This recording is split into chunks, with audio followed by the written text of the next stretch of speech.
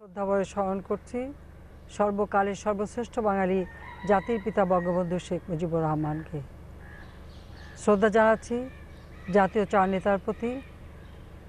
স্মরণ করছি মহান মুক্তিযুদ্ধের তিরিশ লক্ষ শহীদ এবং দু লাখ নির্যাতিত মা বোনকে। শ্রদ্ধা জানাচ্ছি সকল বীর মুক্তিযোদ্ধাকে। আমি স্মরণ করছি উনিশশো সালের পনেরোই আগস্টের কালো রাতে ঘাতকের হাতে নিহত আমার মা বেগম ফজিলাতুন্নেসা মুজিব, তিন ভাই, মুক্তিযোদ্ধা ক্যাপ্টেন শেখ কামাল, মুক্তিযোদ্ধা লেফটেন্যান্ট শেখ জামাল ও দশ বছরের ছোট্ট শেখ রাসেলকে। কামাল ও জামালের নবপরিণীত বধূ সুলতানা কামাল ও রোজি জামাল, আমার চাচা মুক্তিযোদ্ধা শেখ আবু নাসের সহ সকল শহীদকে। প্রিয় দেশবাসী, বাঙালির সর্বজনীন উৎসব বাংলা নববর্ষ। প্রতিটি বাঙালি আনন্দ উল্লাসের মধ্য দিয়ে উদযাপন করে থাকেন এই উৎসব। এবছর বিশ্বব্যাপী প্রাণঘাতী করোনা ভাইরাসের মহামারীর কারণে পহেলা বৈশাখের বহিরাঙ্গনের সকল অনুষ্ঠানের উপর নিষেধাজ্ঞা আরোপ করা হয়েছে। এটা করা হয়েছে বৃহত্তর জনস্বাস্থ্যের কথা বিবেচনা করে। কারণ ইতিমধ্যেই এই ভাইরাস আমাদের দেশেও ভয়াল থাবা বসাতে শুরু করেছে। ইতিপূর্বে জাতির পিতার জন্মশতবার্ষিকীর উদ্বোধন অনুষ্ঠান এবং স্বাধীনতা দিবসের অনুষ্ঠানও জনসমাগম এড়িয়ে রেডিও, টেলিভিশন এবং ডিজিটাল মাধ্যমে সম্প্রচার করা হয়েছে। পহেলা বৈশাখের অনুষ্ঠানও আমরা একইভাবে উদযাপন করব। প্রিয় দেশবাসী, আমরা ঘরে বসেই এবারে নববর্ষের আনন্দ উপভোগ করব। কবিগুরুর কালোজয়ী গান, এসো হে বৈশাখ, এসো এসো। মুছে যাক গ্লানি, ঘুচে যাক জরা, অগ্নি স্নানে সূচি হোক ধরা। এই গান গেয়ে আহ্বান করব নতুন বছরকে। অতীতের সকল জঞ্জাল গ্লানি ধুয়ে মুছে আমরা সামনে দীপ্ত পায়ে এগিয়ে যাব গর্ব আলোকোজ্জ্বল ভবিষ্যৎ। করোনা ভাইরাসের যে গভীর আধার আমাদের বিশ্বকে গ্রাস করেছে সে আধার ভেদ করে বেরিয়ে আসতে হবে নতুন দিনের সূর্যালোকে। কবি সত্যেন্দ্রনাথ দত্তের ভাষা তাই বলতে চাই, মেঘ দেখে কেউ করিস নে ভয়, আড়ালে তার সূর্য হাসে, হারা শশীর হারা হাসি অন্ধকারেই ফিরে আসে। সমগ্র বাংলাদেশে এবং প্রবাসে বাঙালিরা বাংলা নববর্ষ আনন্দঘন পরিবেশে উদযাপন করে থাকেন। রাজধানীতে রমনা পার্ক চারুকলা চত্বর সোহরার্দি উদ্যান সহ নগরীর নানা স্থান মানুষের ভিড়ে মুখরিত থাকে এই দিনটি। গ্রামীণ মেলা, হালখাতা সহ নানা অনুষ্ঠানে গোটা দেশ মেতে ওঠে। এবার সবাইকে অনুরোধ করব, কাঁচা আম, জাম, পেয়ারা, তরমুজ সহ নানা মৌসুমি ফল সংগ্রহ করে পরিবারের সবাইকে নিয়ে বাড়িতে বসেই নববর্ষের আনন্দ উপভোগ করুন। আপনারা বিনা কারণে ঘরের বাইরে যাবেন না। অযথা কোথাও ভিড় করবেন না। স্বাস্থ্যবিধি মেনে চলুন করোনা ভাইরাস সংক্রমণ থেকে নিজেকে রক্ষা করুন, পরিবারের সদস্যকে রক্ষা করুন। প্রিয় দেশবাসী, চিকিৎসক নার্স অন্যান্য স্বাস্থ্যকর্মীগণ সম্পদের সীমাবদ্ধতা এবং মৃত্যুর ঝুঁকি উপেক্ষা করে এবারে সামনের কাতারে থেকে করোনা ভাইরাস আক্রান্ত রোগীদের চিকিৎসা সেবা দিয়ে যাচ্ছেন। আপনাদের পেশাটাই এরকম চ্যালেঞ্জের। এই ক্রান্তিকালে মনোবল হারাবেন না। গোটা দেশবাসী আপনাদের পাশে রয়েছে। আমি দেশবাসীর পক্ষ থেকে আপনাদের সকলকে ধন্যবাদ ও অভিনন্দন জানাচ্ছি। যেসব সরকারি স্বাস্থ্যকর্মী প্রত্যক্ষভাবে করোনা ভাইরাস রোগীদের নিয়ে কাজ করছেন ইতিমধ্যেই তাদের তালিকা তৈরির নির্দেশ দিয়েছি। তাদের বিশেষ সম্মানী দেওয়া হবে। এজন্য একশো কোটি টাকা বরাদ্দ করা হয়েছে। করোনা ভাইরাস প্রতিরোধে চিকিৎসক, নার্স, স্বাস্থ্যকর্মী, মাঠ প্রশাসনের কর্মকর্তা, পুলিশ সহ আইন শৃঙ্খলা বাহিনীর সদস্য, সশস্ত্র বাহিনী ও বিজিবি সদস্য এবং প্রত্যক্ষভাবে নিয়োজিত প্রজাতন্ত্রের অন্যান্য কর্মচারীর জন্য বিমার ব্যবস্থা করা হচ্ছে। দায়িত্ব পালনকালে যদি কেউ আক্রান্ত হন, তাহলে পদমর্যাদা অনুযায়ী প্রত্যেকের জন্য থাকছে পাঁচ থেকে দশ লাখ টাকার স্বাস্থ্য বিমা এবং মৃত্যু মৃত্যুর ক্ষেত্রে এর পরিমাণ পাঁচ গুণ বৃদ্ধি পাবে। স্বাস্থ্য বিমা ও জীবন বিমা বাবদ বরাদ্দ রাখা হয়েছে সাতশো পঞ্চাশ কোটি টাকা। সুরক্ষা সরঞ্জামের কোনো ঘাটতি নেই। নিজেকে সুরক্ষিত রেখে স্বাস্থ্যকর্মীগণ সর্বোচ্চ সেবা দিয়ে যাবেন, এটাই দেশবাসীর প্রত্যাশা। সেই সঙ্গে সাধারণ রোগীরা যাতে কোনোভাবেই চিকিৎসা সেবা থেকে বঞ্চিত না হন, সেদিকে নজর রাখার জন্য আমি প্রতিটি সরকারি ও বেসরকারি হাসপাতাল কর্তৃপক্ষকে অনুরোধ জানাচ্ছি। সামাজিক দূরত্ব বজায় রাখতে নিয়োজিত পুলিশ ও আইন শৃঙ্খলা বাহিনী ও সশস্ত্র বাহিনীর সদস্যবৃন্দ, সরকারি কর্মকর্তা, মিডিয়া কর্মী করোনা ভাইরাসে আক্রান্ত রোগী আনা নেওয়ার কাজে এবং মৃত্যু ব্যক্তির দাফন ও সৎকার দায়িত্বে নিয়োজিত কর্মীগণ সহ জরুরি সেবা কাজে যারা নিয়োজিত রয়েছেন, তাদের আমি আন্তরিক অভিনন্দন জানাচ্ছি। প্রিয় দেশবাসী করোনা ভাইরাসের কারণে গোটা বিশ্ব আজ অর্থনৈতিক মন্দার সম্মুখীন হতে যাচ্ছে বলে বিভিন্ন আন্তর্জাতিক আর্থিক সংস্থা আভাস দিচ্ছে। আপনারা জানেন, এই রোগ প্রতিরোধের সবচেয়ে কার্যকর উপায় হচ্ছে কোয়ারেন্টিন বা সঙ্গ নিরোধ অর্থাৎ নিজেকে ঘরবন্দি করে রাখা।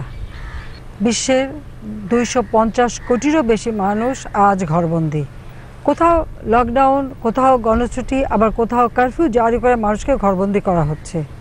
বাংলাদেশেও গত পঁচিশে মার্চ থেকে পঁচিশে এপ্রিল পর্যন্ত এক টানা বত্রিশ দিন সাধারণ ছুটি বলবৎ হয়েছে।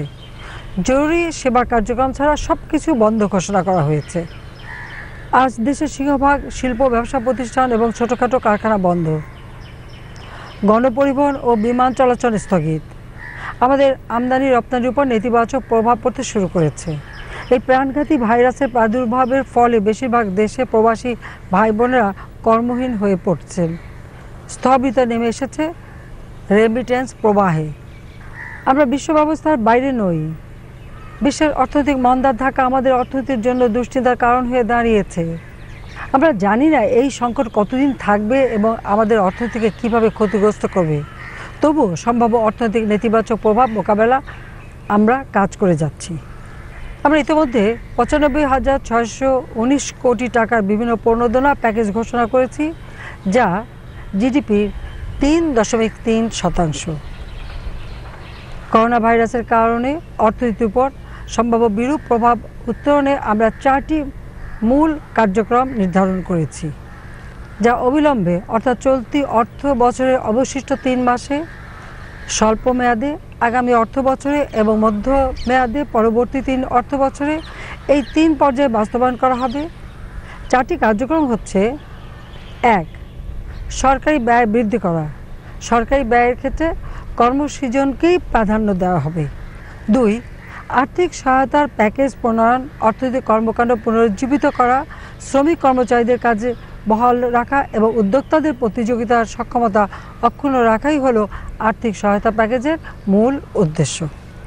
তিন, সামাজিক সুরক্ষা কার্যক্রমের আওতা বৃদ্ধি, দারিদ্র সীমার নিচে বসবাসকারী জনগণ, দিনমজুর এবং অপ্রতিষ্ঠানিক কর্মকাণ্ডে নিয়োজিত জনসাধারণের মৌলিক চাহিদা পূরণে বিদ্যমান সামাজিক সুরক্ষা কার্যক্রমের আওতা বৃদ্ধি করা হবে। চার মুদ্রা সরবরাহ বৃদ্ধি করা, অর্থনীতির বিরূপ প্রভাব উত্তরণে মুদ্রা সরবরাহ এমনভাবে বৃদ্ধি করা যেন মুদ্রাস্ফীতি না ঘটে। বিদ্যমান সামাজিক সুরক্ষা কার্যক্রম সমূহ অব্যাহত রাখার পাশাপাশি করোনা ভাইরাস জনিত কারণে প্রান্তিক জনগোষ্ঠীর সুরক্ষায় যেসব কর্মসূচি গ্রহণ করা হয়েছে সেগুলো হচ্ছে, এক, স্বল্প আয়ের মানুষদের বিনামূল্যে খাদ্য সামগ্রী বিতরণ করার জন্য পাঁচ লাখ মেট্রিক টন চাল এবং এক লাখ মেট্রিক টন গম বরাদ্দ করা হয়েছে এবং মোট মূল্য দুই হাজার পাঁচশো তিন কোটি টাকা। দুই, শহরাঞ্চলে বসবাসরত নিম্ন আয়ের জনগোষ্ঠীর জন্য ওএমএস এর আওতায় দশ টাকা কেজি দরে চাউল বিক্রি কার্যক্রম চালু করা হয়েছে। আগামী তিন মাসে চুয়াত্তর হাজার মেট্রিক টন চাল এই কার্যক্রমের আওতায় বিতরণ করা হবে। এর জন্য দুশো একান্ন কোটি টাকা ভর্তুকি প্রদান করা হবে। তিন, দিনমজুর, রিক্সা বা ভ্যান চালক মোটর শ্রমিক নির্মাণ শ্রমিক, পত্রিকার হকার হোটেল শ্রমিক সহ অন্যান্য পেশার মানুষ যারা দীর্ঘ ছুটি বা আংশিক লকডাউনের ফলে কাজ হারিয়েছেন, তাদের নামের তালিকা ব্যাংক হিসাব সহ দ্রুত তৈরি করার নির্দেশ দেওয়া হয়েছে। এই তালিকা প্রণয়ন সম্পন্ন হলে এককালীন নগদ অর্থ সরাসরি তাদের ব্যাংক হিসাবে পাঠানো হবে। এ খাতে সাতশো ষাট কোটি টাকা বরাদ্দ করা হয়েছে। চার, সামাজিক সুরক্ষা কার্যক্রমের আওতায় পরিচালিত বয়স্ক ভাতা, বিধবা ও স্বামী, নিগৃহীতা মহিলাদের জন্য ভাতা কর্মসূচির আওতা সর্বাধিক দারিদ্র্যপ্রবণ একশোটি উপজেলায় শতভাগে উন্নীত করা হবে। বাজেটে এর জন্য বরাদ্দের পরিমাণ আটশো পনেরো কোটি টাকা। পাঁচ জাতিপিতার জন্ম শতবার্ষিকী উপলক্ষে গৃহীত অন্যতম কার্যক্রম। গৃহহীন মানুষদের জন্য গৃহ নির্মাণ কর্মসূচি দ্রুত বাস্তবায়ন করা হবে। এ বাবদ সর্বমোট দুই হাজার একশো ত্রিশ কোটি টাকা বরাদ্দ করা হবে, কেউ গৃহহীন থাকবেন না। শিল্প খাতে যেসব আর্থিক প্যাকেজ গ্রহণ করা হয়েছে, সেগুলোর মধ্যে রয়েছে, ক্ষতিগ্রস্ত শিল্প ও সার্ভিস সেক্টরের প্রতিষ্ঠান প্রতিষ্ঠানসমূহের ওয়ার্কিং ক্যাপিটালের জন্য ত্রিশ হাজার কোটি টাকা, অতি ক্ষুদ্র ক্ষুদ্র মাঝারি শিল্প প্রতিষ্ঠানসমূহে ওয়ার্কিং ক্যাপিটালের জন্য বিশ হাজার কোটি টাকা, এক্সপোর্ট ডেভেলপমেন্ট ফান্ড ইডিএফ এর সুবিধা বাড়ানোর জন্য বারো হাজার সাতশো পঞ্চাশ কোটি টাকা প্রিশিপমেন্ট ক্রেডিট রিফাইন্যান্স স্কিম এর আওতায় পাঁচ হাজার কোটি টাকা এবং রপ্তানিমুখী শিল্প প্রতিষ্ঠান সমূহের জন্য বিশেষ তহবিল বাবদ পাঁচ হাজার কোটি টাকার ঋণ সুবিধা। প্রিয় দেশবাসী, এই দুঃসময় আমাদের কৃষি উৎপাদন ব্যবস্থা শুধু সচল রাখা নয়, আরও জোরদার করতে হবে। সামনের দিনগুলিতে যাতে কোনো প্রকার খাদ্য সংকট না হয়, সেজন্য আমাদের এক খণ্ড জমিও ফেলে রাখা চলবে না। এজন্য কৃষি সংশ্লিষ্ট মন্ত্রণালয়গুলোকে প্রয়োজনীয় নির্দেশনা দেওয়া হয়েছে। বীজ, সার, কীটনাশক সহ সকল ধরনের কৃষি উপকরণের ঘাটতি যাতে না হয়, সময় মতো কৃষকের হাতে পৌঁছে সেই ব্যবস্থা আমরা নিয়েছি। কৃষকরা যাতে উৎপাদিত বোরো ধানের ন্যায্য মূল্য পান, সেজন্য চলতি মৌসুমে গত বছরের চেয়ে দুই লাখ মেট্রিক টন অতিরিক্ত ধান ক্রয় করা হবে। এই জন্য অতিরিক্ত আটশো ষাট কোটি টাকা ব্যয় হবে। কৃষি যন্ত্রপাতি ক্রয়ের জন্য দুইশো কোটি টাকা বরাদ্দ দেওয়া হয়েছে। কৃষি খাতে চলতি মূলধন সরবরাহের জন্য পাঁচ হাজার কোটি টাকার একটি তহবিল গঠন করা হচ্ছে। এই তহবিল হতে ক্ষুদ্র মাঝারি চাষিদের কৃষি, মৎস্য, ডেইরি এবং পোলট্রি খাতে চার শতাংশ সুধারে ঋণ প্রদান করা হবে। কৃষি ভর্তুকি বাবদ বরাদ্দ রাখা হয়েছে নয় হাজার পাঁচশো কোটি টাকা। করোনা ভাইরাসের মহামারী থেকে আমাদের বাঁচতে হবে। আমরা পরিস্থিতির উপর নজর রাখছি। যখন যে ব্যবস্থা নেওয়া দরকার, তা নেওয়া হচ্ছে। এই মুহূর্তে আমাদের কোনো খাদ্য সংকট নেই। সরকারি গুদমে যেমন পর্যাপ্ত পরিমাণ খাবার মজুদ রয়েছে, তেমনি রয়েছে গৃহস্থদের ঘরে ঘরে। আল্লাহর রহমতে গত মৌসুমে আমাদের রোপা আমনের বাম্পার ফলন হয়েছে। চলতি মৌসুমে বোরো ধানেরও ভালো ফলন হওয়ার পূর্বাভাস পাওয়া যাচ্ছে। খাদ্য ও কৃষি পণ্য সরবরাহ ও বিতরণ ব্যবস্থা অটুট রাখতে বিশেষ ব্যবস্থা নেওয়া হয়েছে। অনেক সদস্য, ব্যক্তি ও প্রতিষ্ঠানও দরিদ্র জনগণের সহায়তায় ত্রাণ সামগ্রী বিতরণে এগিয়ে এসেছেন। তবে এসব ত্রাণ সামগ্রীর সহায়তা বিচ্ছিন্নভাবে না বিলে স্থানীয় সরকার প্রতিষ্ঠান এবং আইন শৃঙ্খলা বাহিনীর সদস্যদের মাধ্যমে শৃঙ্খলার সঙ্গে বিতরণ করা প্রয়োজন। তা না হলে ভাইরাস সংক্রমণের সম্ভাবনা থেকে যাবে। আমি বিত্তবানদের এই সহায়তা প্রদান অব্যাহত রাখার অনুরোধ জানাচ্ছি। প্রিয় দেশবাসী, আপনারা ভয় পাবেন না। ভয় মানুষের প্রতিরোধ ক্ষমতাকে দুর্বল করে।